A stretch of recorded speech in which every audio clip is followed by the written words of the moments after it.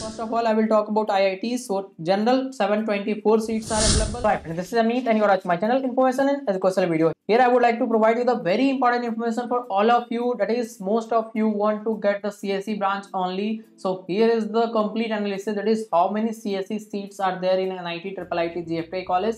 Please try to take a look here for every type of college. I will provide you for every type of category separate information for all type of brands combined total number of seat. I have already provided the video. Please check in the i button as well in the description box. So let's get started with the video. That is first of all I will talk about IITs. So general 724 seats are available for general PWD. There are 44 seats for EWS 173 seat, EWS PWD 10 seat, SC 270, SC PWD 13, ST 133, ST PWD 12, OBC 478, OBC PWD 34. Total 1891 seats are available in IIT college with CSE branch not with all type of branch by combining all type of branch there are more seats for that. I have already uploaded the video. You can check in the i button as well as the description box. So now let's talk about the reservation uh, in iit so category wise reservation is available. That's why i provide you the category wise seat but no home state other state reservation is here. 20 percent plus seat will be reserved for female student of, of every category whatever i mentioned here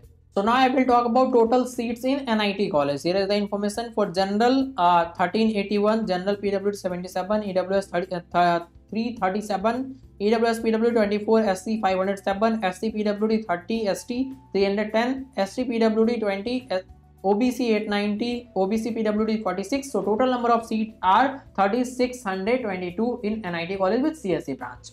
Now, if we talk about uh, home state other state, you also know home state other state reservation is there in NIT college. Now, if we talk about the reservation, then 25 to 30 percent seats are reserved for female in each category and category wise reservation obviously applicable. Now, if we talk about for triple IT, so general 1286 seat for uh, CSE, uh, general PWD 58, EWS 295, EWS PWD 17, and for SC it is 454. For SC PWD 25 seats are there, ST 232 seats uh, STPWD 9, OBC 825, OBC PWD 38 and total number of seats are 3239 that is available in Triple IT college. Now if you talk about the number of branch then CSE, ITEC branch are available in IIT college. So uh, now if you talk about female then again 20 to 25 percent seats in each category are reserved for female students in almost all type of Triple IT college. Now if you talk about for GFTI general 5, uh, 55 uh, for general PW 30, EWS 107, EWS PWD only 5, SC 151, SC PWD 11, ST 94, ST PWD very few seat that is only 4 and for OBC 198, OBC PWD again 10 seat.